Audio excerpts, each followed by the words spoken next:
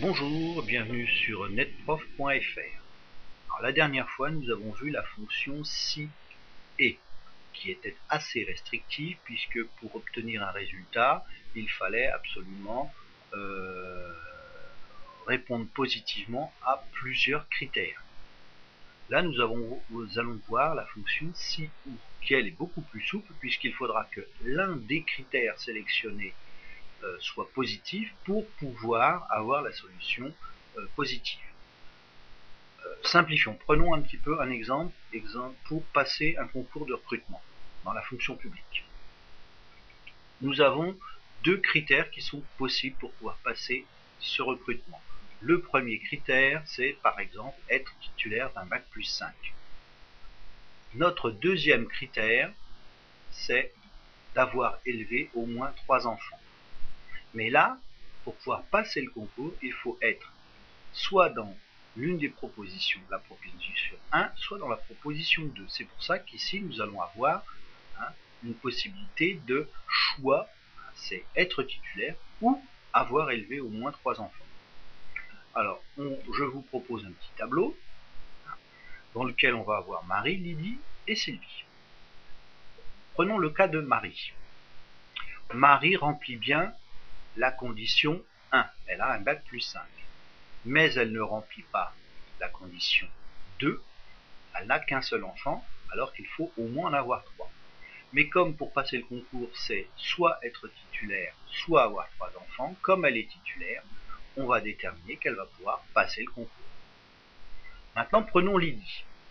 Lydie n'a pas de bac plus 5, donc ne remplit pas le critère 1, et n'a pas de trois enfants, donc ne remplit pas le critère 2. Donc elle, les deux critères pour elle sont négatifs. Donc elle ne pourra pas s'inscrire. Si je prends Sylvie, Sylvie n'a pas de bac plus 5, mais elle a élevé au moins trois enfants puisqu'elle en a élevé 4. Donc comme l'une des deux conditions est remplie, elle va pouvoir passer le concours. Donc si je regarde un petit peu ma formule de base, vous allez voir qu'elle va être très peu différente Hein, au niveau de sa conception de celle de la fonction si et. C'est-à-dire que si vous maîtrisez le si et, vous allez voir que le si ne pose pas de problème. Regardez, on va avoir si, bien entendu, puisque là on se pose hein, une question, et on va avoir le ou.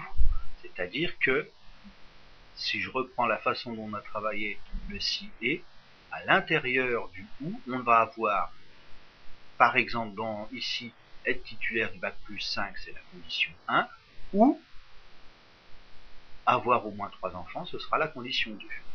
Et on terminera toujours par les deux possibilités, le vrai ou le faux, c'est-à-dire réponse positive ou réponse négative. Là aussi, je le rappelle, on pourrait aller jusqu'à une trentaine de conditions, ce qui veut dire que là, à la rigueur, on accepterait beaucoup de choses. Alors, voyons maintenant comment cela se traduit sur l'organigramme.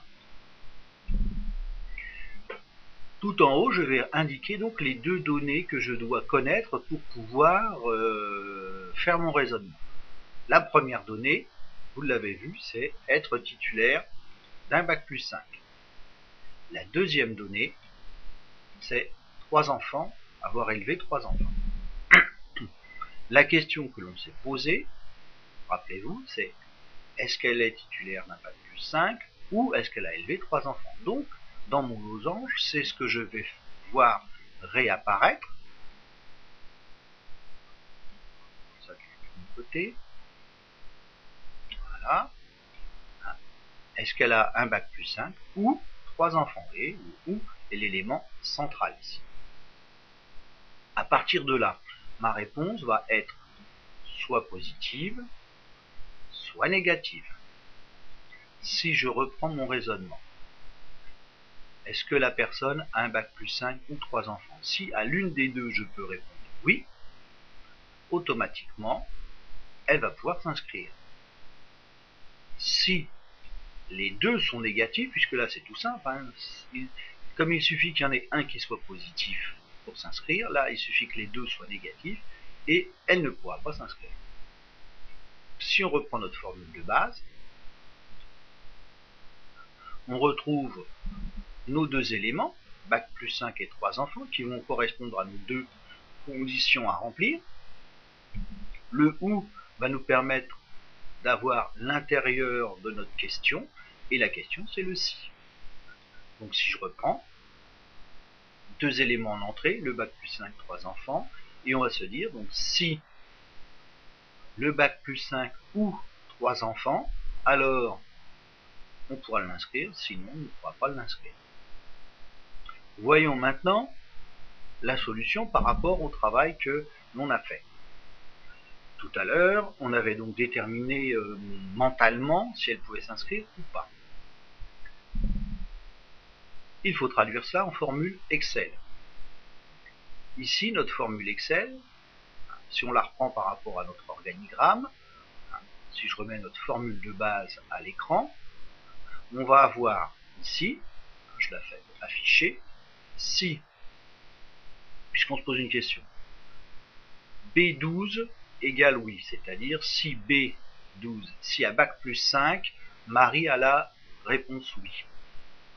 Ou C12, c'est-à-dire C12 supérieur à 2, elle a élevé au moins donc 3 enfants.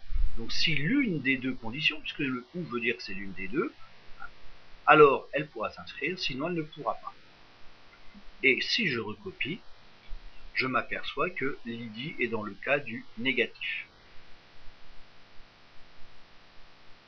Vous voyez que c'est une euh, formulation beaucoup plus souple, hein, parce que si au lieu de si on avait fait si et, bah, on se rend compte que aucune des candidates n'aurait pu se présenter euh, au concours de recrutement.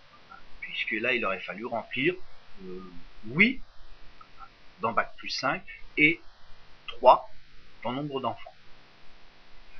Donc voilà, j'en ai terminé pour cette petite fonction-ci, où je vous retrouve pour un petit exercice d'application.